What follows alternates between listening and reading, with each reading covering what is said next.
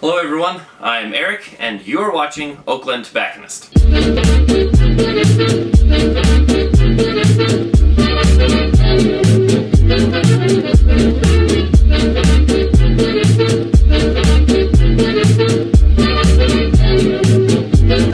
I have a very special review, uh, one of our most popular inside the humidor, and a personal favorite. It is the Corojo 5 Maduro by Gran Habano. The Corojo 5 Maduro Gran Robusto is a 7x54 shaggy foot Maduro cigar. It is a dark oily wrapper using a dark uh, cured Corojo leaf.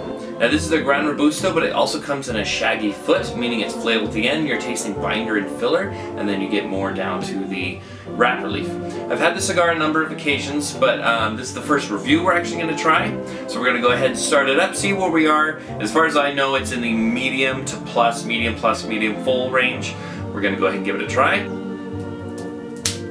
Perfect cut. A lot of people find with Gran Habano they're actually somewhat tightly packed. Not a tight draw, but tightly packed. Tends to burn slower, but burns very well. Now as we're toasting it, we're just toasting the filler leaves and the binder leaves. So it's kind of going to flail out a bit until it gets into the, um, the wrapper leaf. We're going to go ahead and get that lit up.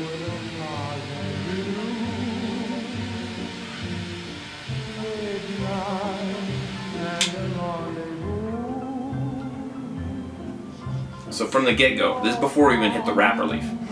I'm getting hit with a blast of flavor, a lot of uh, sweetness and a lot of pepper, sort of complex together. More sweetness, and then on the retrohale and on the end you have more of the, I would say, white pepper and black pepper.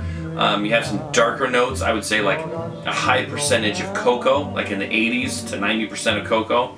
Um, dark earth, also there's a hint of cedar on the back end as well, and it's kind of where that sweetness comes from the cocoa and um, from the front there. Then on the back end, as I say, you have a little bit of uh, that pepper and you have a little bit of that cedar and wood.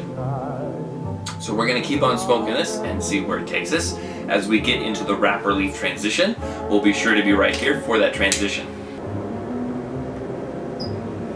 So we are back with this Corojo 5 Maduro, just getting into the wrapper leaf.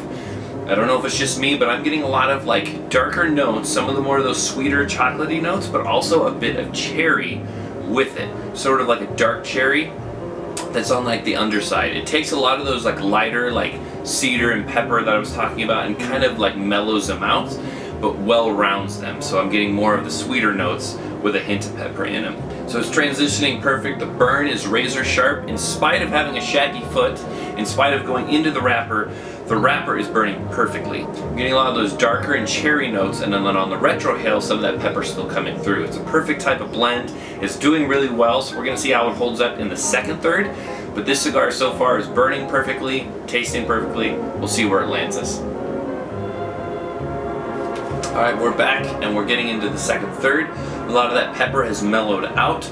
We're still in that kind of dark cherry, dark cocoa phase. A little bit of wood on the backside and the burn is just, as I say, razor sharp. You can definitely see why the Corojo 5 Maduro has withstood the test of time in Gran Habano's portfolio. It has a great taste to it, great aroma, great room note. Um, just a phenomenal snow smoke. So thank you for reviewing this cigar with me. Make sure you like, comment, subscribe.